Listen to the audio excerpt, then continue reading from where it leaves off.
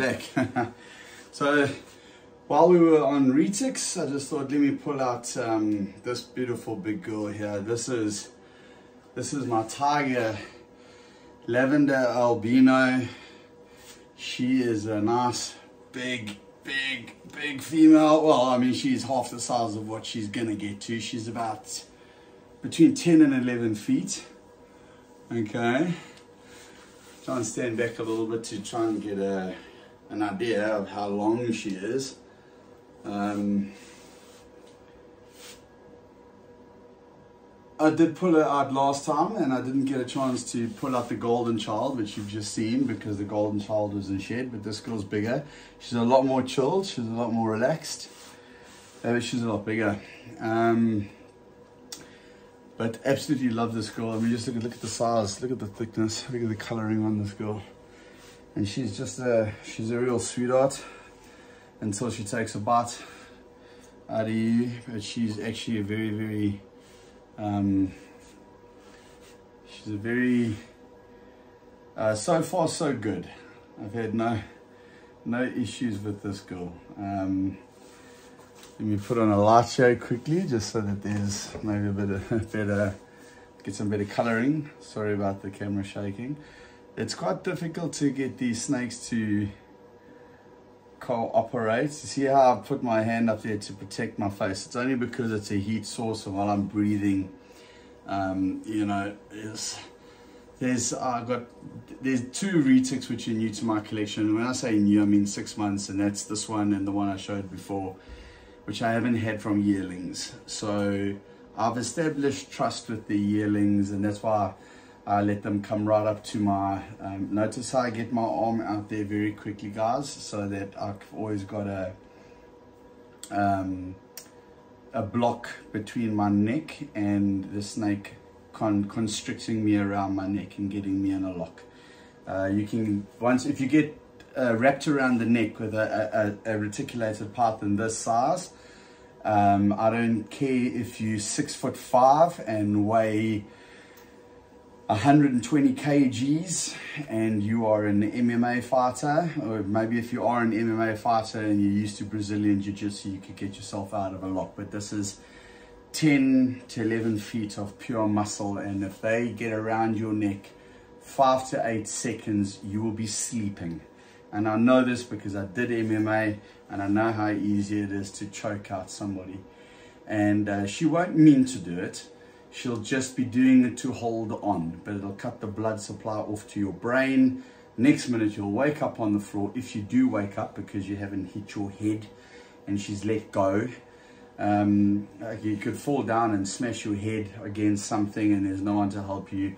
Normally, I don't handle um, my, my big girls and unless I've got somebody in the vicinity close to me I am alone today, unfortunately, but I'm, I'm, I know this girl well enough to know that I'm not in any real danger, and I'm, I'll always, I can make a plan. Okay, so for the for the new guys out there that are, uh, and I'm by no means an expert, guys. I'm, I'm an intermediate breeder. Um, you always have to be on your guard with uh, retics and anything 9, 10 feet and above. Always be uh, very careful and always make sure that you you don't let them wrap around you like a scarf. Always make sure that you've got at least one arm free at, at all times just in case they decide they're going to wrap you up. So let me see if I can if if, if I can almost I, I, wish I could get the whole size of her um, for you to see because if I have to lay her out on the ground should almost be twice twice my um, twice my height. And I'm six foot one, six foot one inches, and she's about 11. So she's almost double my height. It doesn't look it because she's like folded over double, you know. But trying, trying hard without putting her on the ground. I think the only way to do it, to really make a video to show you how big she is, is if I had to take her outside or into another room and have somebody else film while I while I put it out on the ground and we video her, you know, you know, crawling along the ground. But I'm not able to do that at the moment. So, so the best I can do is a, is a video like this just to, to show you, you know, this beautiful, this beautiful specimen of a snake here. Honestly, it, it, she's just stunning. The reason why I'm holding her today is like I'm holding all my retics uh, is because I like to hold them, socialize them. There's no point in keeping them uh, locked up in an enclosure their whole lives. They must get out, they must exercise. There's no point. I, I don't believe in just eating, sleeping, and breeding. Okay, I don't believe in that. I the ball pythons even I've got quite a lot of ball pythons, nearly 200 ball pythons, I would say, and I um I'll take them out and I'll hold them. It may not be for long, but I stretch them out and put them back in. And even though I breed them predominantly, the retics for me are a passion. The retics is just a snake that I absolutely love. I've only got six. I've got two males and four females. Two of the females are going to be breeding ready next year. This is one. This is this is the girl that will more than likely breed.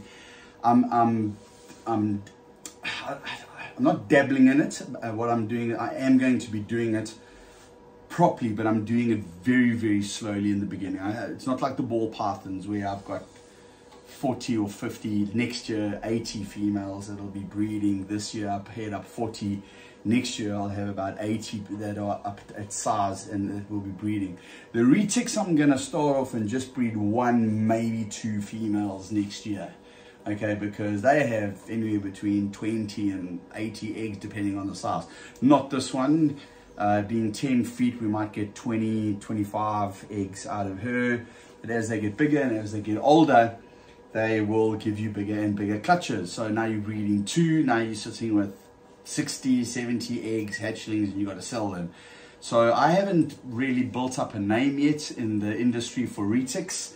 I'm still only really getting my name out there in the industry for ball pythons. Um, and that's what I'm predominantly breeding at the moment. And I am going to be doing the retics, but on a much smaller scale. I say that now, but who knows and what, what the future holds.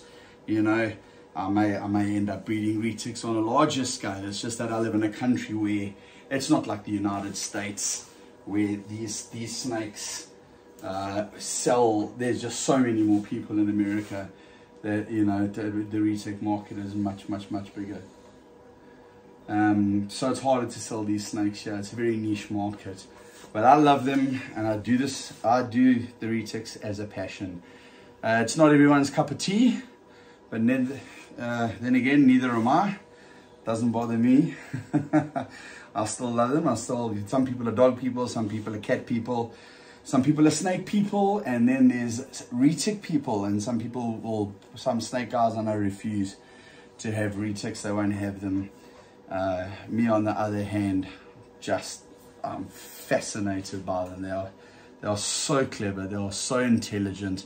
They are so, um, what's the word I'm looking for? I don't know. I just, I just get, I just get such a, such a joy and such a calmness from handling and, and just watching them and they're just analyzing everything, you know, they just, they're in the snake room here and they can smell, they're out there enclosures and they can smell all the other snakes they can smell all the new smells that are going on and they just want to investigate, you know.